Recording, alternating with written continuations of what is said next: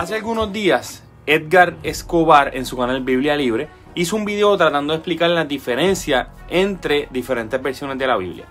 En los comentarios muchos le decían que nunca habían visto un video con una explicación tan buena como esa. Sin embargo, en el video Edgar comete una serie de errores, mostrando que pareciera que no conoce bien el tema. En este video voy a tratar de explicar los errores que cometió Edgar, esperando que se entienda mejor este tema tan complicado, aunque fascinante, que es la crítica textual del Nuevo Testamento. Rápido, desde que comienza el video de Edgar, él empieza diciendo que hay dos grandes familias y dice que las familias son texto recibido y texto crítico, pero esto no es correcto.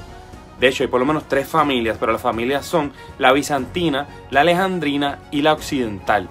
Esto es importante, pues se llaman familias porque entre ellas mismas tienen variaciones entre los textos. O sea, no hay un solo, o no tenemos un solo texto bizantino, no hay un solo texto alejandrino, aunque hay un códice que se llama Codex Alejandrino, y no hay un solo Codex Occidental, sino que son familias de textos que tienen mucho en común, pero entre ellos tienen también diferencias. Entonces ahora, yendo al meollo del asunto, voy a explicar un poco de qué es en realidad el textus receptus y qué es en realidad el texto crítico. Y van a ver cómo se diferencia la explicación que voy a dar de la explicación que dio Edgar en su canal. El textus receptus no es una traducción, como dice Edgar, sino que es un texto crítico. Sí, el textus receptus también es un texto crítico en donde se compilaron diferentes textos griegos. Erasmo de Rotterdam fue un humanista católico que utilizando su criterio de crítica textual compiló lo que él creía que era el texto griego original basado en siete manuscritos. Y esos siete manuscritos eran de la familia bizantina. Eh, y por eso es que a, a veces se equipara el texto receptus con el texto bizantino. Fíjense que Edgar dice que la mayoría de los manuscritos eh, existentes son bizantinos y que por eso es que también se le llama texto mayoritario. Sin embargo, como ya mencioné, Erasmo solamente usó siete para su texto. Originalmente no se llamaba Textus Receptus, sino que se llamaba Novum Instrumentus Omne, en su versión de 1516. Fue mucho más adelante, casi 100 años después, que adquirió el nombre de Textus Receptus, o sea, el texto recibido por todos. El Textus Receptus fue la base para las Biblias de la Reforma, porque era el instrumento griego que tenían disponibles como base para traducir a los distintos idiomas vernáculos. Este Textus Receptus tuvo muchas revisiones, de modo que no hay un solo Textus Receptus, sino que cuando vamos a hablar de este concepto, también tenemos que referirnos a qué versión o qué edición es la que estamos citando.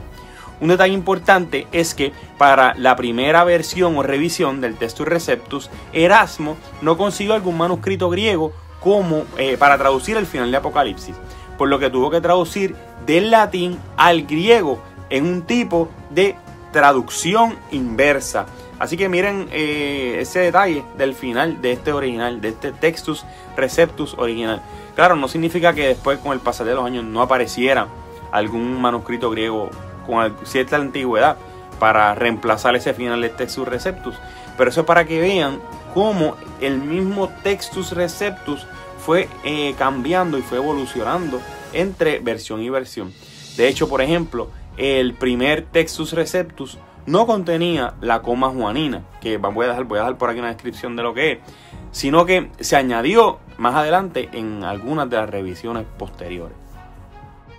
Por otro lado, el texto crítico es otra compilación de textos parecida al Textus Receptus, solo que no usó solamente siete manuscritos bizantinos, sino que usó miles de manuscritos de diferentes familias. En ese sentido, no es exclusivamente alejandrino, porque este texto se construye utilizando la crítica textual, que lo que hace es tratar de acercar el texto lo más posible al original cuando hay cientos o miles de copias. En ese sentido, aunque su base es alejandrina, al final el texto que tenemos no es exclusivamente alejandrino. También hay que señalar que hay distintos textos críticos, porque cualquiera con acceso a los textos griegos que hoy en día se consiguen fácilmente por internet, podría hacer su propio texto crítico.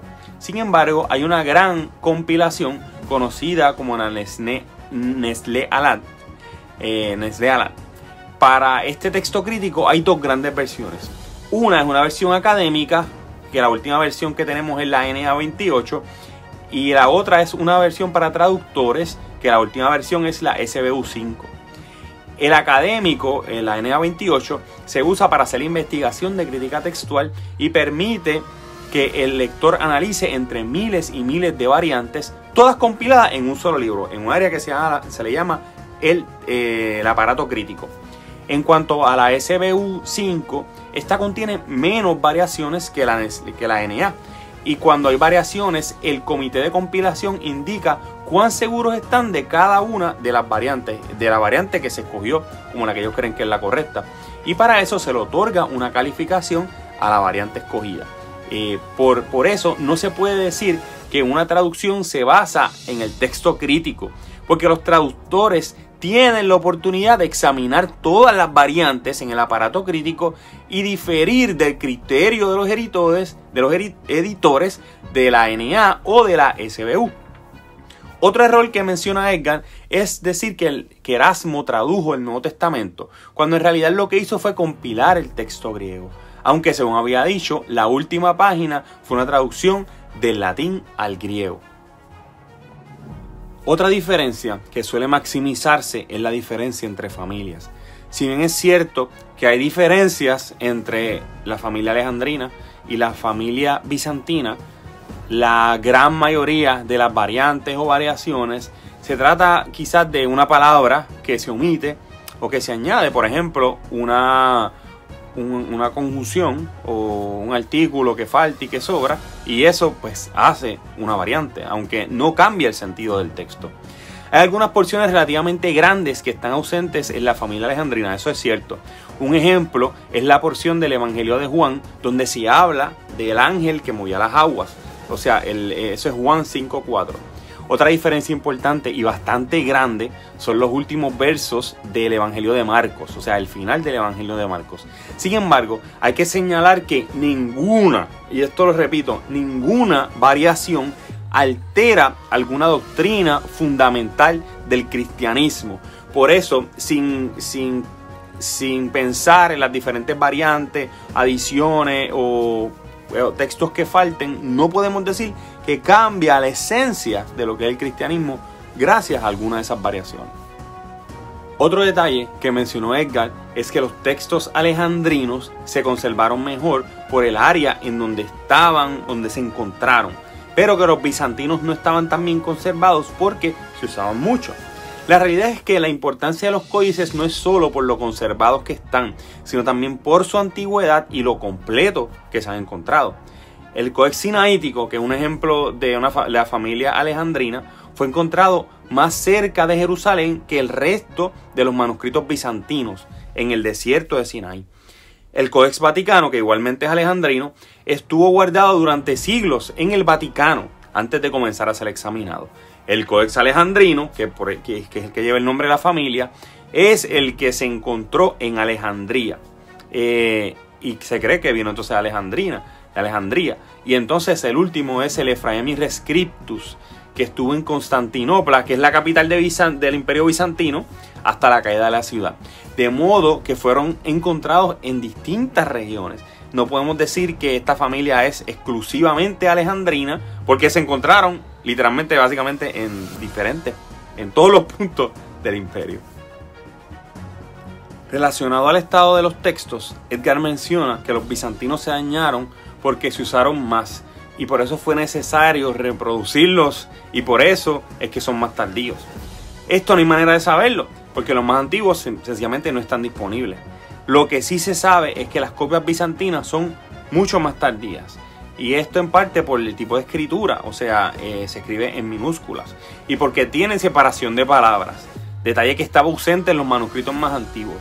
Esto significa que esas copias sufrieron de cierto trabajo de edición, pues en las primeras copias del Nuevo Testamento no había separación de palabras y todas las letras eran en mayúsculas griegas y no se usaban acentos. Así que ustedes se imaginan lo complicado que es leer uno de estos escritos, uno de estos papiros antiguos, e inclusive de los códices alejandrinos, porque en estos, en estos documentos no hay separación de palabras, todo está escrito en letra mayúscula y no existe acento. Pero posteriormente, en un trabajo de edición y de revisión, se añadieron ese tipo de mejoras, por así decirlo, al texto, y esas mejoras entonces aparecen en la familia bizantina. Otro detalle que Edgar dice y que se repite mucho es que de Alejandría salieron las grandes herejías y por eso se mira con cierta sospecha o suspicacia los textos de la familia alejandrina. Lo primero que hay que decir al respecto es que el único de los grandes unciales encontrados en Alejandría es el Codex Alejandrino. Los otros códices de esta familia, como dije anteriormente, fueron encontradas en otras partes bastante distantes del imperio. Por otro lado, la primera gran herejía de la historia del cristianismo fue la herejía judaizante. Estos eran los que querían obligar a la iglesia a hacerse judíos o a judaizar. Y esto salió probablemente del mismo Jerusalén. Luego fue muy importante el gnosticismo, que es cierto que salió probablemente de África, de la zona de Alejandría, pero inicialmente no estaba relacionado con el cristianismo, sino que se aprovechó del cristianismo. ¿Y por qué sucedió esto? Pues porque Alejandría era uno de los centros culturales más importantes del imperio. Imagínense, ahí estaba la biblioteca, la gran biblioteca de Alejandría. Entonces es comprensible que muchas ideas salieran de esa región. De hecho, el Antiguo Testamento griego que usó la iglesia primitiva, que se llama la Septuaginta, salió de Alejandría. Por otro lado, de esa zona también surgieron grandes hombres del cristianismo primitivo, como lo fueron Tertuliano, Clemente de Alejandría y Orígenes.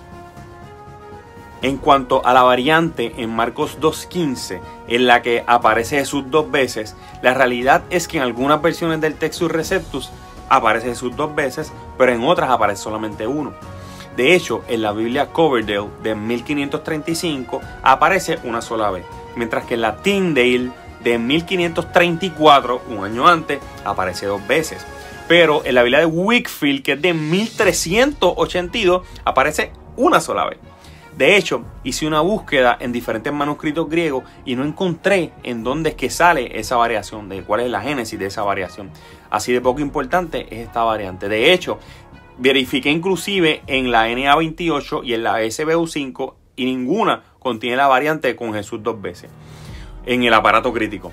Otro texto trabajado por Edgar fue Hebreos 10:23. En este caso no existe ningún problema en las fuentes, sino que es una cuestión puramente de traducción. Algunos han, han traducido elpis como fe y otros como esperanza. De modo que aquí no existe tampoco ningún problema relacionado con una variante ni con la fuente, sino solamente es una cuestión de estilo y de traducción. Finalmente, no es correcto que el texto crítico necesita de Receptus para su traducción, porque el texto crítico se compiló teniendo ya en cuenta diferentes familias textuales, entre las que está la familia bizantina. Sin embargo, algunos traductores que usan como base el Textus Receptus también usan porciones de manuscritos que no forman parte de la familia bizantina para su traducción. En fin, este tema es complejo pero bien interesante. A mí en lo personal me gusta mucho. Los que acusan al texto alejandrino de reducir la edad de Cristo, por ejemplo, no saben lo que dicen. Porque el texto alejandrino de ninguna forma niega la deidad de Cristo y tampoco niega que fue humano. En lo que estoy de acuerdo con Edgar es que al estudiar la Biblia deberíamos usar todas las fuentes que tengamos disponibles. Porque eh, en el caso del texto bizantino es el que está más cerca de nuestra tradición. Eh, eh, y alejandrino aunque parece ser más antiguo y más cerca de los autógrafos, pues se aleja un poco de lo que nosotros tenemos como tradición. Además, la Reina Valera está más cerca a lo que nosotros leemos día a día. De hecho, los textos de la Biblia que yo me sé de memoria, me los sé en Reina Valera. Así que no hay que cambiar la Reina Valera. Así que para concluir, ¿qué debemos hacer? usar todos los textos que tengamos disponibles. Y cuando hay alguna duda, busque información de alguna persona que conozca el tema. Si, si conoce a alguna persona que sabe de griego, eh, es, útil que le pregunte. Inclusive usted puede venir a mi canal y me puede preguntar cuando tenga duda de alguna variante que usted encuentre entre diferentes versiones y yo puedo ayudarle a buscar información de manera confiable desde los mismos manuscritos y no en el aire buscando ideas de conspiranoico. Así que espero que este video les haya gustado mucho y que les sirva de edificación y que hayan aprendido algo nuevo. Así que Dios los bendiga mucho.